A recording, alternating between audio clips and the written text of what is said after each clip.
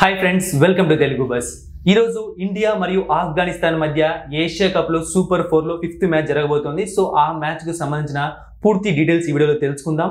అయితే దానికన్నా ముందు తెలుగు బస్ అఫీషియల్ టెలిగ్రామ్ ఛానల్లో జాయిన్ అవ్వండి. డిస్క్రిప్షన్ బాక్స్లో లింక్ ఉంది. లింక్ ద్వారానే వెళ్ళండి.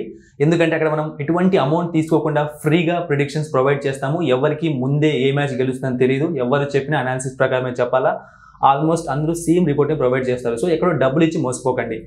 అండ్ ఇంకొక విషయం ఏంటి అంటే తెలుగు బస్ పేరుతో ఉన్న ఫేక్ ఛానల్స్లో కూడా జాయిన్ అవ్వకండి. కొంతమంది నాకు మెసేజ్ కూడా చేస్తున్నారు. అవన్నీ ఫేక్ ఛానల్స్. సో లింక్ ద్వారా వెళ్ళి మళ్ళీ ఇంకొకసారి జాయిన్ అవ్వండి. మిస్ అవ్వకండి.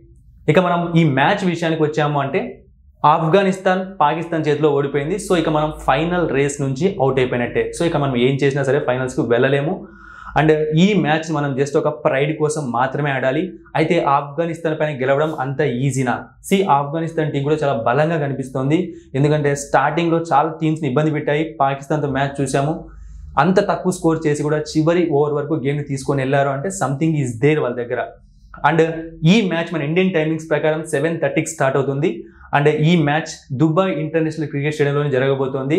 మన ఇండియన్ టైమింగ్స్ ప్రకారం సెవెన్ థర్టీకి స్టార్ట్ అయిన ఈ మ్యాచ్ స్టార్ స్పోర్ట్స్ ఛానల్లో అలాగే డిస్నీ ప్లస్ హాట్స్టార్ యాప్లో మీరు లైవ్ చూడొచ్చు.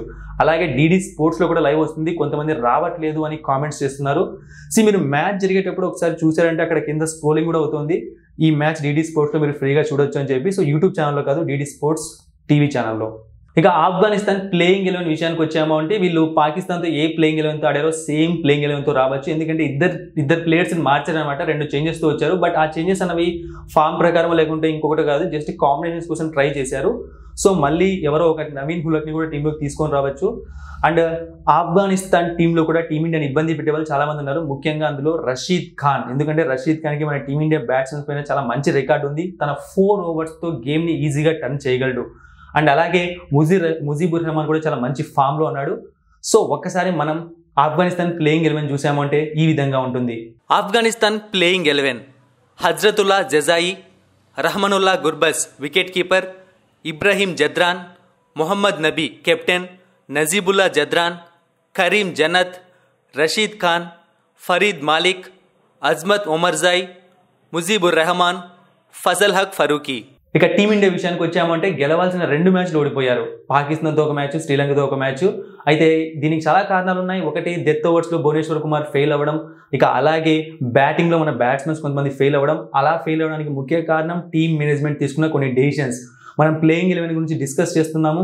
అంటే వీళ్ళు వస్తే బాగుంటుంది వీళ్ళు వస్తారేమో అని చెప్పి. కానీ టీమ్ మేనేజ్మెంట్ మాత్రం సేమ్ ప్లేయర్స్ని నమ్మి బరిలో దింపింది. అయితే ఇక్కడ వాళ్ళు టీంలోకి రావడం తప్పు అనట్లేదు. వచ్చినందుకు వాళ్ళని ఆ విధంగా యూస్ చేసుకోలేదనమాట ఇప్పుడు ఫర్ సపోజ్ దీపక్ కూడా చూసాము అంటే అతను ఆల్రౌండర్ కనీసం వన్ సింగిల్ ఓవర్ కూడా బౌలింగ్ వేయించలేదు. అంతేకాకుండా అతను ఫినిషింగ్ బ్యాట్స్మెన్ కాదు. ఫోర్ ఫైవ్ పొజిషన్స్లో వచ్చి లేకుంటే థర్డ్ త్రీ ఫోర్ పొజిషన్స్లో వచ్చి సెట్ అయ్యాక హిట్టింగ్ చేసే బ్యాట్స్మెన్ బాల్ వన్ నుంచే హిట్టింగ్ చేయడం కొంచెం కష్టమే దీపక్ కూడాకి. సో అలాంటప్పుడు దినేష్ కార్తిక్ టీంలో తీసుకొని ఉంటే ఫినిషింగ్ బాగా జరిగేదేమో అనిపించింది. సో ఈ రోజు మ్యాచ్లో మాత్రం దినేష్ కార్తిక్ టీంలోకి వస్తాడు అనిపిస్తుంది. అంటే రిషబ్ పంత్ని డ్రాప్ చేసి దినేష్ కార్తిక్ టీంలోకి తీసుకొని వస్తారు. ఇక అలాగే రిషబ్ పంత్ని టీంలోకి తీసుకొని వచ్చారు. అది కూడా ప్రాబ్లం కాదు. రిషబ్ పంత్ మంచి ప్లేయరే అయితే మిడిల్ ఆర్డర్లో బ్యాటింగ్ చేయించకుండా అతన్ని హార్దిక్ పాండే తర్వాత బ్యాటింగ్ పంపించారు. సో అది మిస్టేక్ అనమాట తెచ్చుకున్న ప్లేయర్స్ని ఒక కారణం. కానీ అక్కడ యూస్ చేస్తున్నది ఇంకొక కారణం. సో అవే మనకి ఎక్కువగా మైనస్ అయ్యాయి.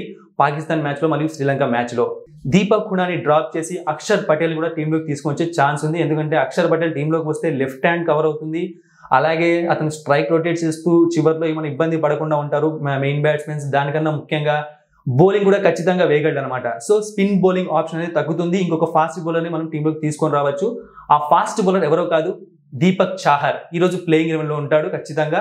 శ్రీలంకతో మ్యాచ్ జరిగేటప్పుడు అనమాట ఆవేష్ ఖాన్ పూర్తిగా రూల్ అవుట్ అయిపోయాడు. సో అప్పుడే అతన్ని స్క్వాడ్లోకి చేర్చారు మెయిన్ స్క్వాడ్లోకి దీపక్ చహార్ వస్తే కొంచెం బౌలింగ్ డిపార్ట్మెంట్ ఖచ్చితంగా బలపడుతుంది. భువనేశ్వర్ కుమార్ పైన ప్రెజర్ తగ్గుతుంది. ఇక హర్షదీప్ సింగ్ అలాగే ప్లేయింగ్ ఎలెవెన్లో ఉంటాడు.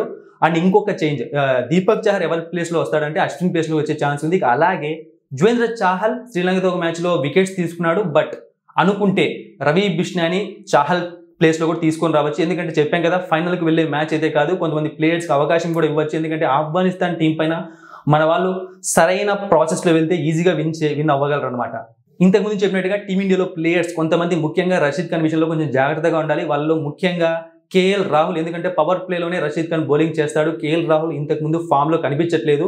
అండ్ అలాగే కోహ్లీ పైన కూడా రషీద్ ఖాన్కి చాలా మంచి రికార్డు ఉంది. సో ఇవన్నీ కొంచెం చూసుకొని బాగా ఆడితే మన టీమిండియా బ్యాటింగ్ లైనప్ చూసాము అంటే ప్యూర్ ఫామ్లో ఉన్న బ్యాట్స్మెన్స్ అనమాట రోహిత్ శర్మ సూర్యకుమార్ యాదవ్ విరాట్ కోహ్లీ. వీళ్ళ ముగ్గురు పైన ఎక్కువగా డిపెండ్ అవుతుంది టీం అన్నది. India playing eleven KL Rahul Rohit Sharma captain Virat Kohli Suryakumar Yadav Hardik Pandya Dinesh Karthik wicket keeper Axar Patel Deepak Chahar Bhuvneshwar Kumar Arshdeep Singh Yuzvendra Chahal. ఇక Dubai stadium pitch report విషయానికి వచ్చాము అంటే friends ఇక్కడ pitch అన్నది batting అనుకూలిస్తుంది స్పిన్కి pace ఒక pitch అనుకూలిస్తుంది. అయితే దానికన్నా ముందు మనం ఇక్కడ టాస్ గెలిచి తీరాలి. ఎందుకంటే ఇప్పటి వరకు పంతొమ్మిది మ్యాచ్లు జరిగితే ఇక్కడ టీ ట్వంటీ వరల్డ్ కప్ తర్వాత అందులో పదిహేడు మ్యాచ్లు ఫస్ట్ టాస్ గెలిచిన టీమే గెలిచింది. అండ్ ఇంకొక విషయం ఏంటి అంటే రెండు సార్లు హాంకాంగ్ స్కాట్లాండ్ పైన ఒక మ్యాచ్లో మనం హాంకాంగ్ పైన రీసెంట్గా గెలిచాము టాస్ ఓడిపోయి ఇంతకుముందు న్యూజిలాండ్ టాస్ ఓడిపోయి స్కాట్లాండ్ పైన గెలిచింది. సో పెద్ద టీమ్స్ కాదు అవి చాలా చిన్న టీమ్స్ పెద్ద టీమ్స్ పైన మనం టాస్ ఓడిపోతే చాలా ఇబ్బంది పడతాం. అయితే ఈరోజు ఆఫ్ఘనిస్తాన్ కూడా మనం చిన్న టీం అని అంచనా వేయలేమన్నమాట. ఎందుకంటే చాలా బాగా పర్ఫామ్ చేస్తున్నారు. మరి రోహిత్ శర్మ అదృష్టం ఎలా ఉందో ఈరోజు తెలిసిపోతుంది అనమాట అంటే యాక్చువల్గా మంచి టాస్ విన్నింగ్ పర్సెంటేజ్ ఉంది రోహిత్ శర్మకి. మరి ఈ రోజు టాస్ గెలిస్తే మనం ఆల్మోస్ట్ నైంటీ పర్సెంట్ మ్యాచ్ గెలిచినట్టే. ఇక ఫైనల్గా మనం ఈ మ్యాచ్ ప్రిడిక్షన్ విషయానికి వచ్చాము అంటే ఫ్రెండ్స్ ఒకవేళ ఈ ప్రిడిక్షన్ నేను చేంజ్ చేయాల్సి వస్తే ఈ ప్రిడిక్షన్ అనేది నేను ఖచ్చితంగా టాస్ పడ్డాక టెలిగ్రామ్ ఛానల్లోనే ప్రొవైడ్ చేస్తాను. ఎందుకంటే ఇక్కడ ఒక ప్రిడిక్షన్ అక్కడ ఒక ప్రిడిక్షన్ చెప్పి మీకు కన్ఫ్యూజ్ చేయను. సో ఒక టెలిగ్రామ్ ఛానల్ జాయిన్ అవ్వండి. అయితే ఈ మ్యాచ్ ప్రిడిక్షన్ అయితే నేనైతే India eighty percent Afghanistan twenty percent అనుకుంటున్నాను. ఖచ్చితంగా టీమిండియా గెలవడానికి ఎక్కువ అవకాశాలు ఉన్నాయి. గెలుస్తుంది. బట్ పోరాడి గెలుస్తుందా? ఈజీగా గెలుస్తుందా? అది మాత్రమే చూడాలి. బట్ టాస్ అనేది కూడా చాలా ఇంపార్టెంట్ చూద్దాం మరి ఏం జరుగుతుందో. Thank you for watching and supporting మీ మరిన్ని ఇంట్రెస్టింగ్ వీడియోస్ కోసం సబ్స్క్రైబ్ చేయడం మర్చిపోకండి.